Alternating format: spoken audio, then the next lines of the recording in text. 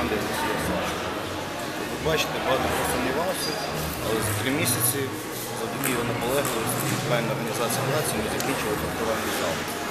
Хотілося б зазначити, що це не останнє, що ми плануємо напрямку розвитку спорту, зокрема за ініціативи голови адміністрації Олексія Савченко, обласному бюджеті в цьому році передбачено 8 мільйонів гривень на реконструкцію шахового клубу, який теж роками ніяк не могли завершити. І ми впевнені, що цьому році після його реконструкції він буде гідний приймати як чемпіонат України, так і міжнародні змагання, як сьогодні.